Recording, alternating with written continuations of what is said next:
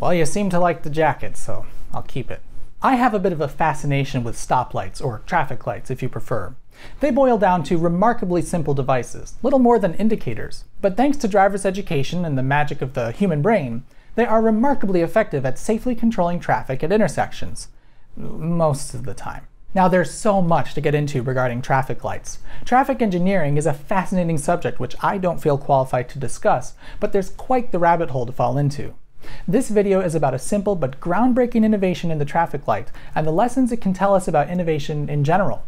This is about the LED traffic light and the caution of, but sometimes. I live in an area of my town that's not terribly well traveled. Though there are many four-lane roads with speed limits of 35 to 40 miles an hour, the traffic volume honestly doesn't often justify having two lanes in each direction. Many of the stoplights in this area have been neglected and are still using good old-fashioned incandescent bulbs with colored glass lenses.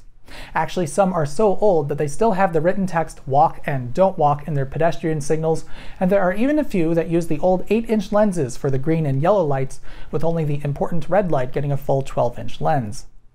Granted, these stoplights have had their control systems upgraded over the years, there are vehicle presence detectors embedded in the road surface to alter their timing and behavior, and they are equipped with photocells to detect the tuned strobe light on emergency vehicles and stop traffic in opposing directions and some have even had countdown timers added to the pedestrian signals.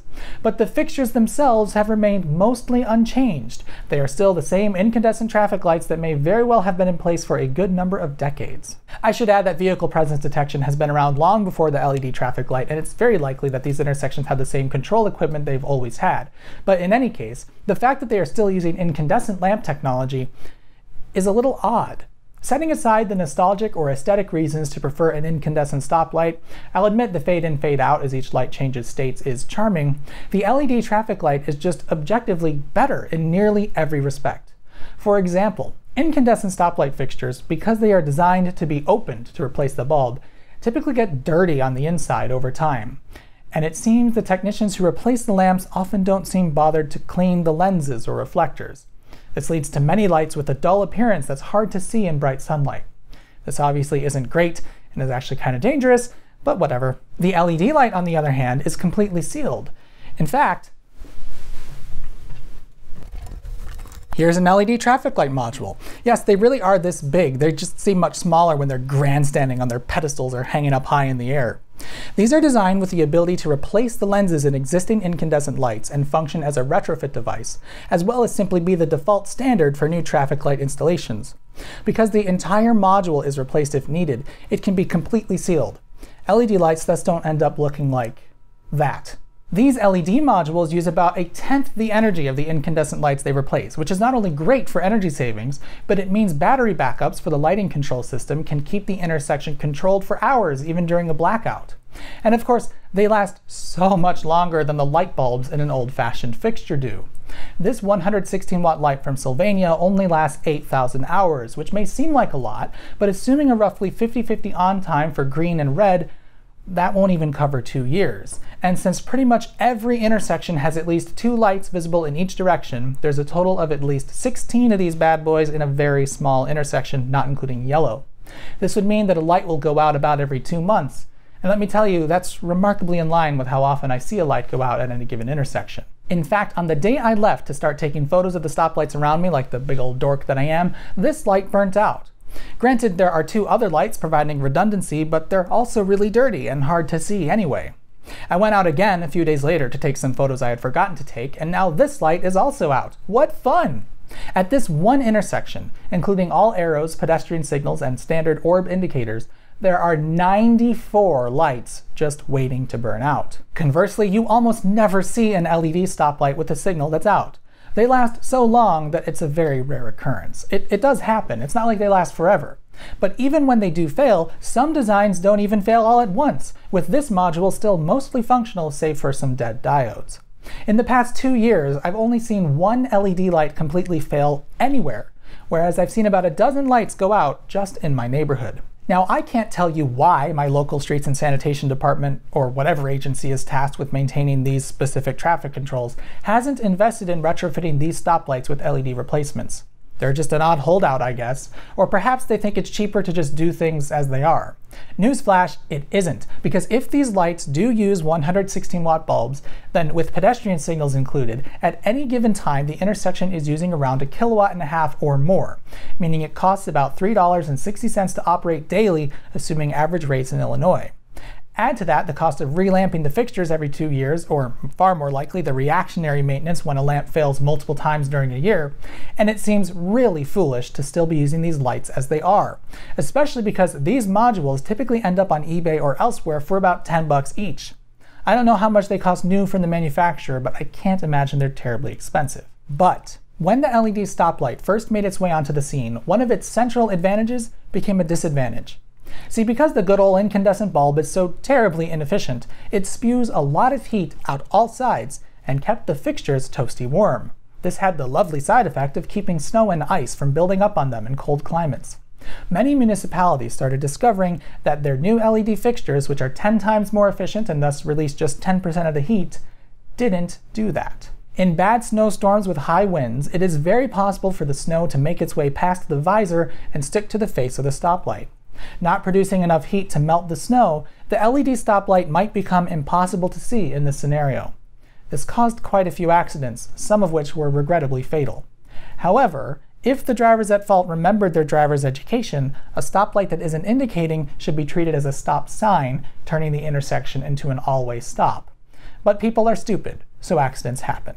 As you may imagine, the news reports started flooding in. Energy efficient stoplights cause accidents. These new LED stoplights can't melt snow. The green revolution knows no bounds. Cold traffic lights leave drivers confused.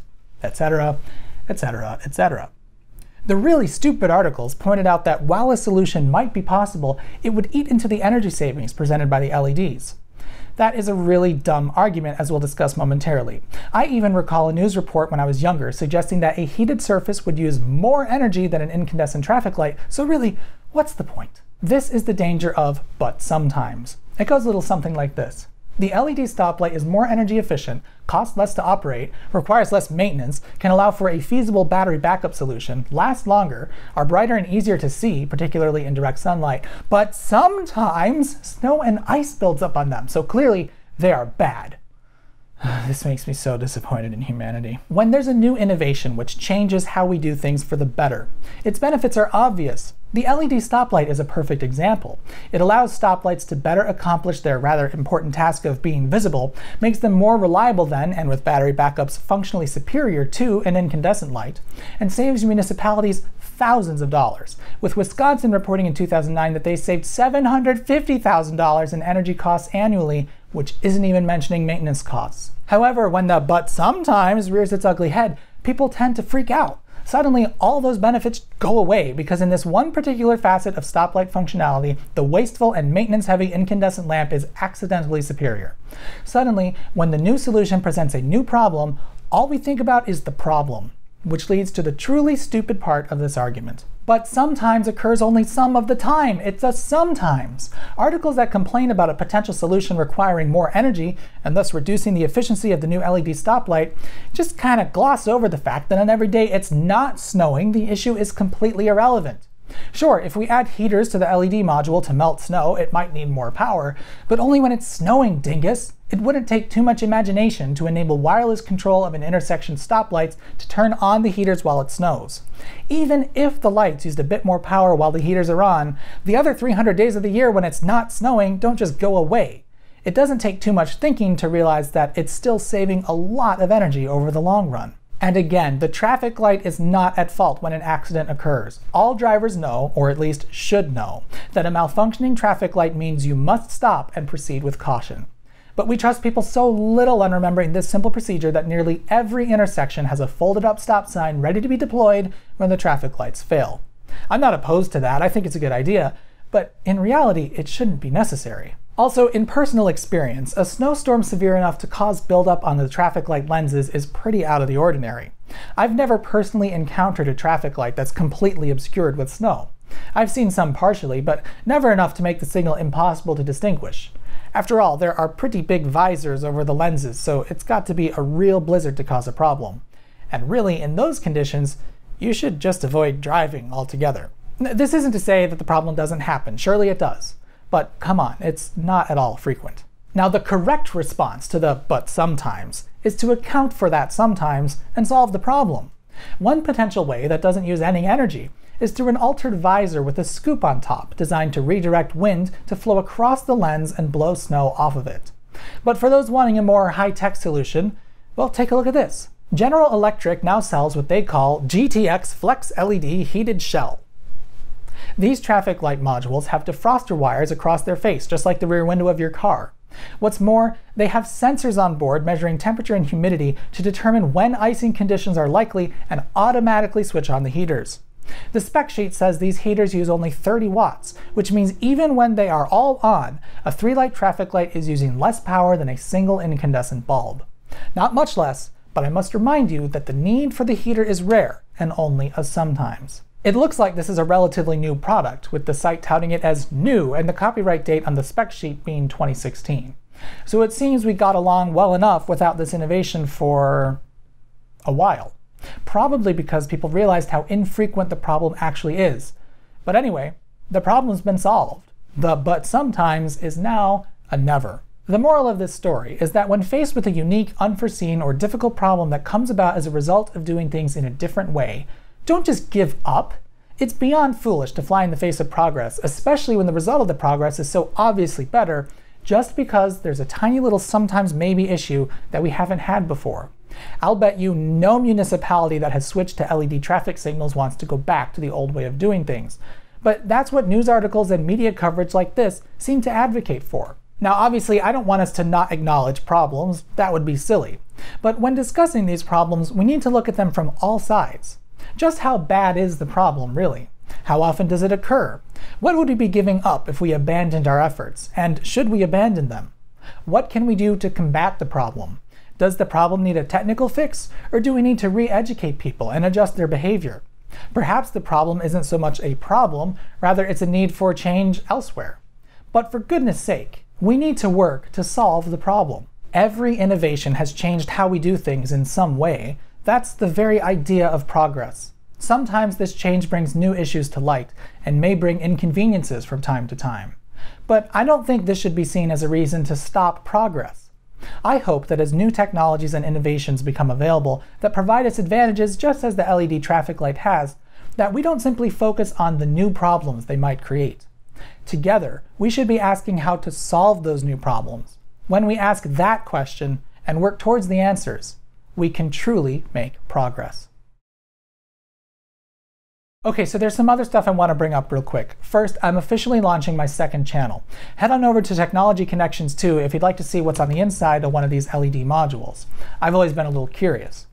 Don't uh, mm, don't go over just yet. There's okay. Here's a card, but the end screen will have it too, and there's a link down below. One thing that I've noticed change about traffic light behavior is the timing of the right turn arrow.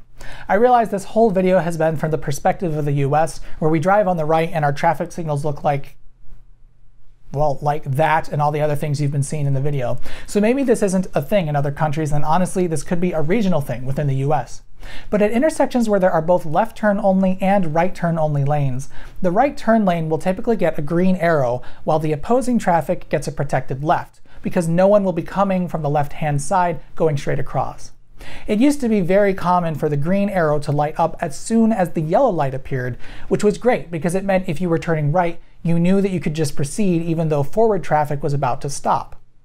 Most intersections these days seem to wait until the opposing traffic gets their protected left before illuminating the right turn arrow, which means you need to stop before you actually get the arrow.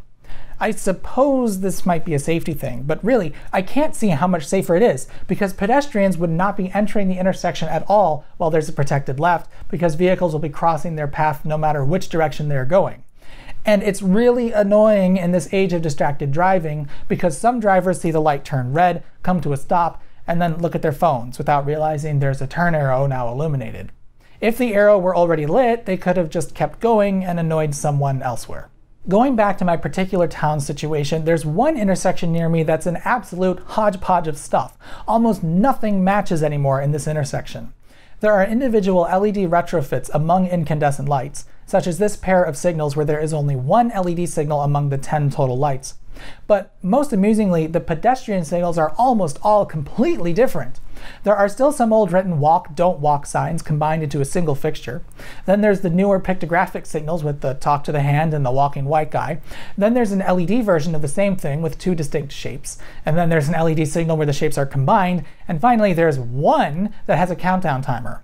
That strikes me as particularly odd because it means the controller for this intersection is capable of driving a countdown timer, so clearly it has been updated within the last decade or two, but there are some comparatively ancient fixtures here. I realize this style of light where there are multiple diodes right at the face that fail over time is kind of an old style at this point. Most newer traffic lights are like these, where they are designed to mimic how incandescent fixtures look. In fact, GE calls these incandescent look. That's part of why I want to check out the innards of one of these. I doubt there's a single 10 watt LED chip in here, so I would imagine they also don't necessarily fail altogether, but it would be a lot harder to see if it's failing at a glance. I glossed over the vehicle presence detection a little bit and just showed what it looks like, and sometimes this isn't even visible. Generally, there will be a loop of wire embedded below the road surface that's designed... Really? I glossed over the vehicle presence detection a little bit and just showed what it looks like, and sometimes this isn't even visible. Generally, there will be loops of wire embedded below the road surface that are designed to detect a change in their magnetic field brought about by a large metal object above them, such as a vehicle. You can often see these, particularly if they were added to an already existing road surface. Sometimes you'll notice them way far back from the intersection, and by adding them here, the traffic control system can count how many vehicles are approaching and thus how much time is needed for them to cross the intersection. There's some pretty clever thought going into all these systems. Oh, and sometimes you'll see cameras up where the traffic signals are, and some of these are used for presence detection using computer vision. Also, the emergency vehicle detectors are a pretty neat thing that perhaps you know how they work, but I'll tell you anyway. I said tuned strobe light earlier. What I mean by that is that emergency vehicles have a single white strobe light, often in the center of their light bars, which flashes at a very specific frequency. It's often hard to see on video because strobe lights and video just don't really get along, but it's this one here on this ambulance. The traffic light controller is looking for a signal at that specific frequency coming from the photocells up top, and when it sees it, it will begin stopping traffic. These white indicators are used to confirm to the driver of the emergency vehicle that the signal was received and that opposing traffic is being stopped. In Illinois, where I live, the lights will flash in the direction the emergency vehicle is coming from, and they will illuminate steadily for opposing traffic to warn them an emergency vehicle is coming. Interestingly, this isn't really taught in driver's ed, and the lights don't have any sort of sign to explain their purpose, but hopefully enough people have figured this out to make them useful. Lastly, for those towns who like the charm of these old 8-inch stoplight fixtures, you'll be happy to know that GE, and probably others too, make LED retrofits for these. So come on guys, let's get with the program. Thanks for watching, I hope you enjoyed the video. If this is your first time coming across the channel, please consider subscribing. As always, a huge thank you to supporters on Patreon. Your support is what keeps these videos coming.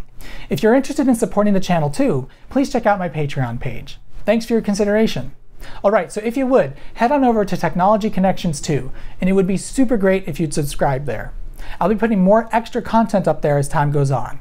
I'll see you next time.